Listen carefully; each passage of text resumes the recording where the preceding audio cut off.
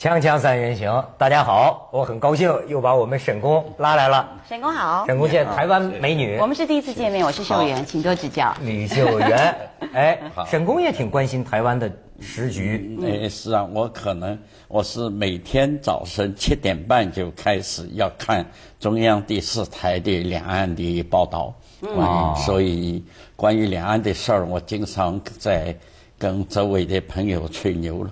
吹牛吹吹什么牛？最近这现在是马王配破局了，这这正是王金平就说不会跟马英九搭档了。嗯，我有点失望了。你失望什么？对，其实因为现在这个你这一年的可这个明年的选举其实是非常重要的。然后泛蓝如果不团结的话，其实等于是再一次的又让大家在这个泛绿的政治底下，然后可能要已经执政八年了嘛。然后大家都觉得这八年当中其实非常非常多的负面影响，所以很可能就希望再换人做做看啦。但是这一次泛蓝团结整合的时候，其实因为要有一个主力的所谓的这个总统搭档人选出来，所以马英九一直在等王金平。哎。那因为王金平的辈分始终高嘛，然后他其实，然后马英九又有一个伦理，但是在老实说，可是，在民调上面，马英九其实是非常被看好的一匹黑马，因为他正直，他优秀，所以就把他当成是一个王金平不正直不优秀。也不是，但是因为其实王金平是非常老经验的，他可能在这个政治的操作上面是非常有帮助的。但是大家都觉得，可能这这个国家的元首，尤其是在国民党里面，其实马英九是从小被培植起来，就是一个精英中的精英了。但是这真是不同人不同看。可是这个分律里边好像也分类了，嗯，这搞了一个第三社会党，我看。嗯哦，最近这沈工听说是对什么社会民主党还是民主社会主义？民主社会主义有点感兴趣，是因为中国的事情了。而且呢，我的我过去跟您交代过我的历史吧？对对对就是我曾经参加过那个呃。我们这里六十年代初有个叫反修小组，那么现在大家又在回忆这个这些事情了，啊哎，那么那跟台所以湾的政治其实跟台湾政治忽然之间呢，有了联系。看了台湾那个冒出一个词儿来，使我大为紧张啊！什么词儿？啊，前几个月叫苏修，苏修啊，哦 苏贞昌苏贞昌修叫苏修。苏修，我还以为是苏联修真主义，怎么到了？台湾去了？后来很幸亏我有一个指路人，嗯，那个我经常看中央四台上面，中央四台经常请一位叫尹乃菁小姐来做节尹乃优秀的我们台湾的政论家。哦，是吗？嗯，呃，我从来没见过她，可是我应该请您转言，我已经成为他的粉丝了。其实政论家很多，但是因为尹乃菁很漂亮，沈工为什么盯着看？沈工，沈工有太有眼光意思了，没错。沈工那天还抱怨我呢，说你们老让我谈那个什么社会的话题，怎么不让我谈吃喝玩乐啊？我就是想谈吃喝玩乐嘛。对还说是木子美的粉丝呢。啊，是吗？呃我希望有一天我还是亮粉呢，张靓颖啊，啊张靓颖啊，对对对，超女啊。比比比我们还新呢啊。对，不过老实说，关心政治，其实现在在台湾更是全民政治，连小学生现在考基测都要考这些事情。哎，咱还是这个莫谈政治，啊谈谈纯洁的心灵，谈谈纯洁。哎，沈工，你的节日啊，六一儿童节啊。生日快乐！沈工，但是六一儿童节也没什么愉快的事哎，情。我们为什么是四月四号儿童节？你们是六月一号儿童节？四月四号是全世界都知道是儿童节，不是吗？哎，我我们不是六一国际儿童节吗？我小的时候我记得是四月四号，后来怎么改了我完全真的？哎，奇怪了，我们四月四号是儿童节。但是啊，就关心少年儿童嘛。对最近在网上啊有个关于少年吧，不算儿童，少年有关的新闻，引到什么，引起很多人甚至有暴力冲突了。到现在我都不能相信，就说那个课堂气氛呢，我觉得在一些怪电影里啊，什么周星驰那《逃学威龙》电影里见到，难道说现实真的有吗？他就说。说看看我们的课堂吧，全能班无所不能，有睡觉的，有吵架的，有走来走去闹的，就是最比较恶劣的是有人拿着 DV 在拍，拍什么呢？就是这老师说六十岁的老师在那儿讲课，好像就站在这儿，这这男学生就过去，啪拍拍脑袋，把帽子就给给把老师给摘了。男男老师男男生啊，男生这么对待老师，好像这个老师感觉平常习惯这样了老师不吭声，就还低着头一直讲课，学生们就这么闹闹闹，到最后还要去打这个老师。是拍摄像的这个人说：“哎，别打，别打，别打。”后来就说出，就在这个画面里就说出什么，他们就是一个傻叉嘛，就 SB 嘛，啊，打他，就理他。所以这个视频，哎，他们节选一点点，我你可以看看这个当时的这个这个这个氛围。太过分了吧？嗯，给大家表表表演一下，来给驴哥哥自己。有这件事正是。很多。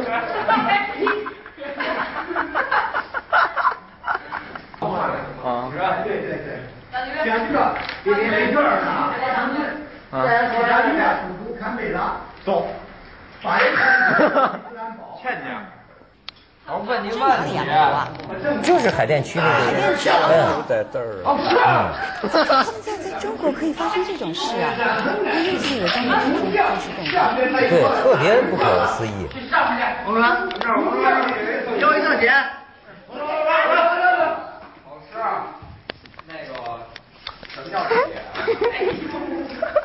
你要到底怎么说吧？啊，别闹，别闹，别闹那您问没什么啊。你看，就是这么一段，就是主要是啊，好多人在网上，你知道最后酿成什么？好多网友不干了。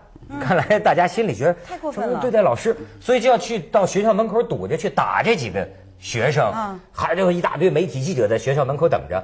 到后来好像学校里边出来一个小客车，大概学校里也采取一些措施，就这几个学生保护他们躲在这个小客车里跑出学校的。这也这就全国这个网友都在这个呃大声这挞伐啊，对对对。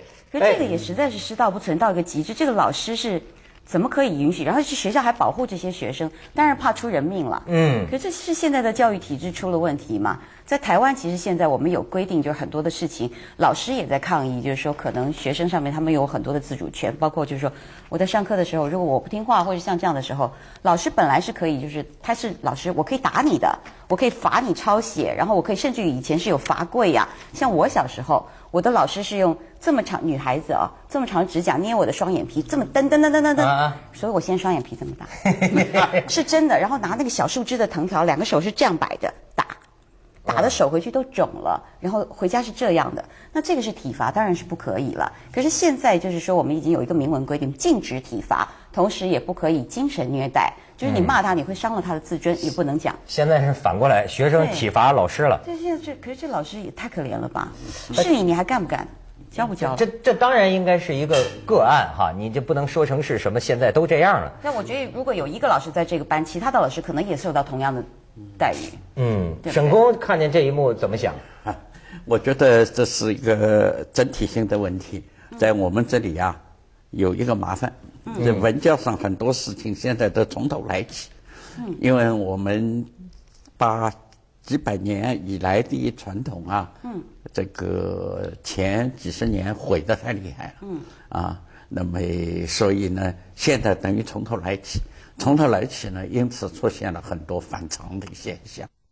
那比如说师生之间的关系吧，啊，我们过去呃有一度是非常尊师爱道的，后来呢，呃，你没看到文革的时候的，哎是是是，哎是啊，这个那很多老师给整死哎，最近还在呃闹很多事情的，女三中啊，还有师大附中啊，这个有位老师叫卞仲云老师，那就是给学生活活的打死了。在文革的时候，哎，文革的时候就活活打死的，嗯，这个像这种事情，走到了那个这以后呢，又是在学生是凭阶级立场来看你这个，而不是凭分凭什么什么，这直到呃改革开放以后，我们八十年代以后慢慢才改变哎，可是我们小时候的教育是老师说什么都是对的，对家长要配合老师的讲法，然后老师跟家里你说你这个孩子要好好管管，家里都说是是是是是，对不对？永远是骂孩子，然后老师有的时候其实还要收红包啊，小以前小时候啊，就是说你要特别对待我的孩子，你要好好的教，然后老师要给补习的时候。老师说要补习，没有一个人敢不交钱，要不然你就没有未来，你在学校可能就不是那个。所以老师的权威是极大的。对。好像现在都是有点师生关系啊和这个尊卑啊都有点改变了。嗯，这个一方面是像沈工说的，比如说这个过去文革的时候打老师啊这些传统，另外再一方面，现在也有人说师生之间是平等的关系，谈不到这种你尊我背，而且很多人说老师对学生也不怎么样啊，像是沈工说的是什么？呃，有一个，这是呃，这个比较小的城市里边的贫苦地区了，这个学生呢，呃，没有文明习惯，随地吐痰，这个老师就让这个学生把痰舔掉。还有这个事情就啊就就是用非常不文明的态度来对待这个另外一种不文明。嗯，不管怎么样，我真是觉得大陆的确是很多事情还得嗯从头来起啊但是。中国地方这么大哦，真的要普及性的，然后宣导这些这个文明的观念，还有尊师重道。但是这不是一直以来中国人的传统。城市跟农村很不一样。嗯，呃，城市像刚才反映的那种学校，特别是呃我估计一定是收费挺高，所以这老师是等于，甚至于还有还有不不不不不不正当的费用等等啊，对吧？这个，那么到了贫苦地区又是完全不一样。嗯，咱们先去一下广告，锵锵三人行，广告之后见。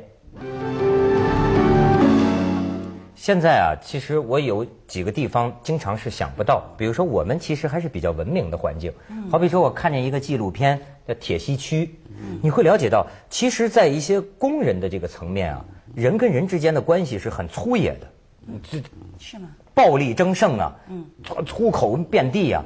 然后呢，你还会看到，就说学学校里哈，你很难想象，你知道现在有些地方那个学校啊，它是专门集中了那种差生、落后生。我们叫放牛班的学生，哦，这叫放牛班。就是将来没有什么出息，就只能去放牛了。我们家有一个亲戚的孩子，就是最后在这个学校里打了架了，然后就是说我一定要让我孩子离开，为什么？就发现就是说不出一年就得教成流氓地痞，就是说这个学校的这个特点就是。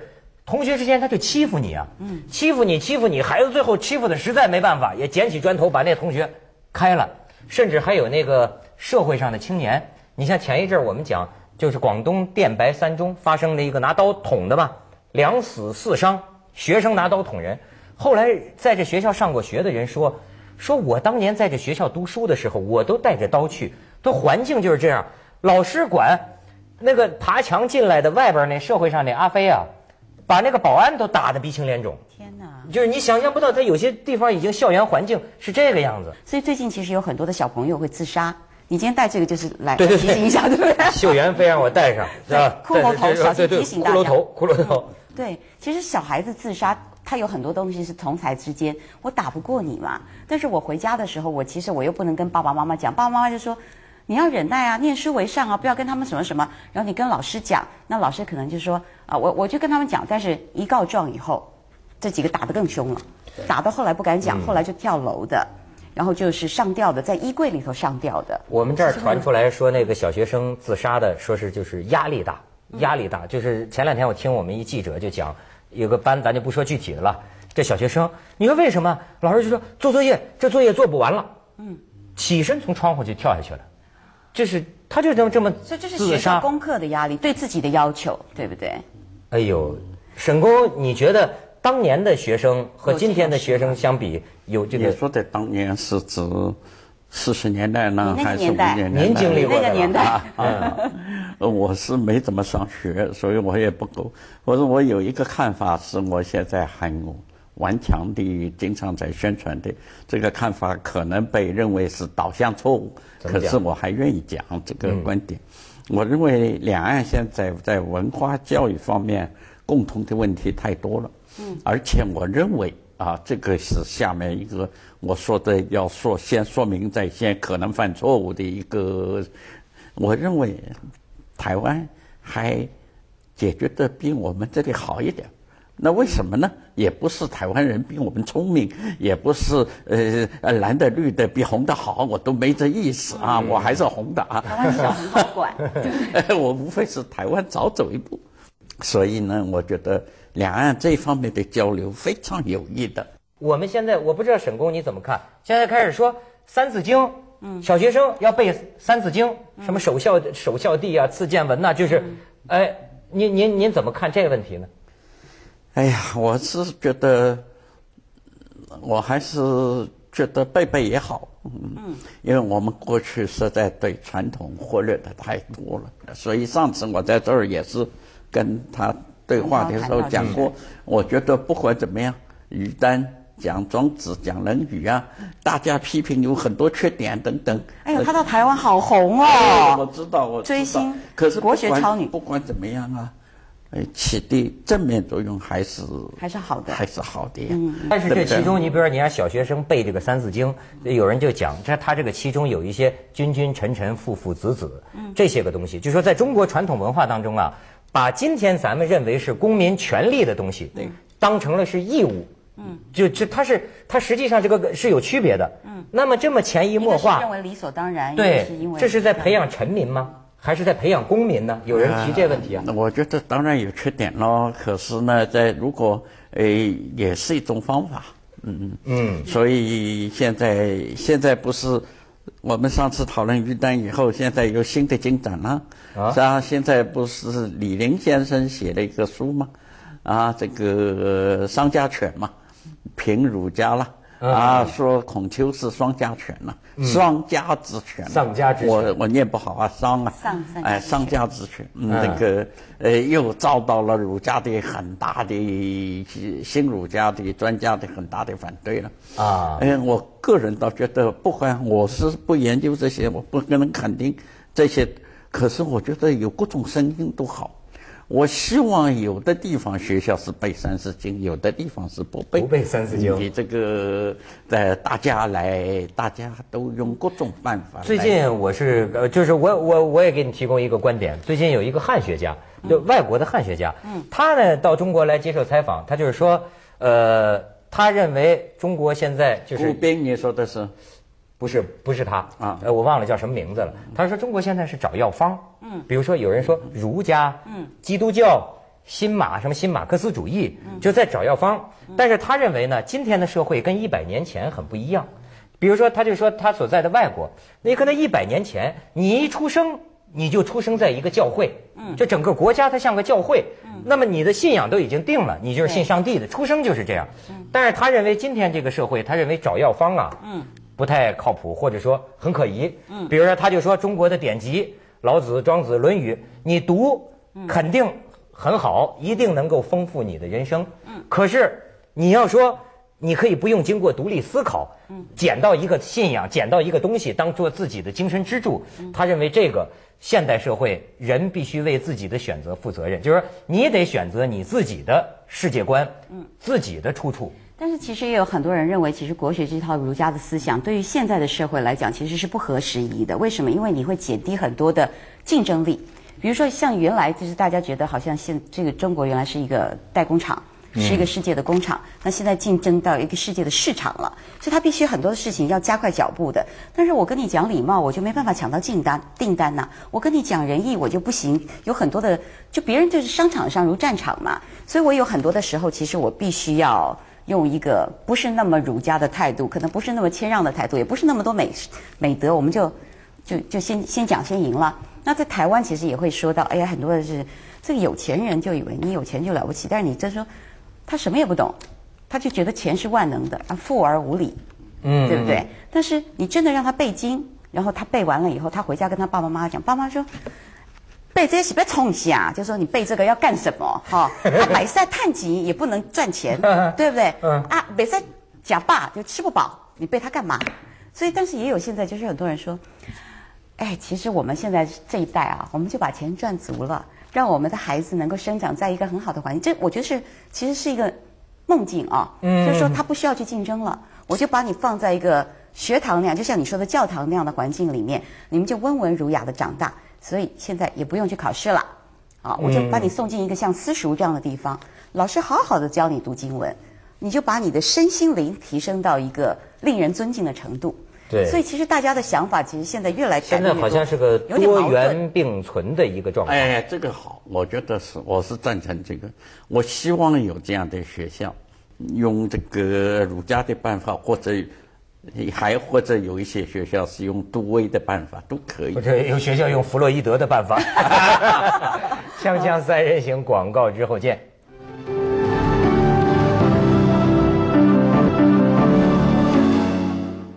刚才就说到现在的这个生活方式，还是这个哲学体系多元多样哈。我倒想介绍一下沈工，沈工现在的这个生活，你你是说要回到前现代？啊，我觉得，呃，我年龄越来越大了，这个越来越不能接受现代化的了。到后现代，我更不能接受了。比如说，我的生活，我资历越来越低了，可是生活越来越复杂了。比如说，我的卡，我受不了那么多卡，我最后把银行的卡通通取消。我通通吗？身上带 cash。那要不存在那儿存折？这话别让贼听见啊！没有多少钱，就够一趟来湘江的车费。不带手机，不带现代通讯器材，每天就是坐公共汽车，背着一个背包。嗯嗯，碰到谁是谁？那万一像是刚刚其实来这个路上路不好走，因为今天又下雨嘛，所以我们就想沈工是不是迷路了？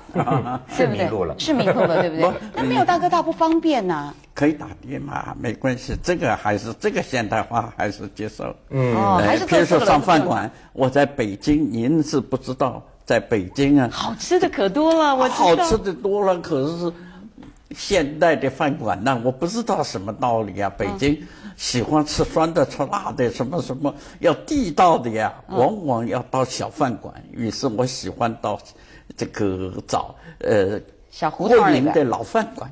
国营的老饭馆，哎，国营的老饭馆过去有一条标语啊，嗯，哎，这条标语代表了我们社会很大的进步啊，您放心好了，赢。饮奶精，对呀，你放心好了，饮饮奶精，差点叫成饮奶精。沈工看来真是这标语是什么呢？本店绝不打骂顾客。哎，这个很重要，很 大的。以后的学校要说本店绝不不本本校绝不打骂学生，或者是绝不欺负老师。有啊有啊，我们有地方上的那个教育局出台的那个文件，就是教师不许猥亵女生。对对对，这是对几年级学生说的。所以啊，后现代，还真是中国现在出现的很多事儿，包括像我现在海海海淀一校这个视频呐，这很多评论都是这种荒诞的情况，反映中国现在出现的东西就像很后现代，很很很荒谬。但是现在。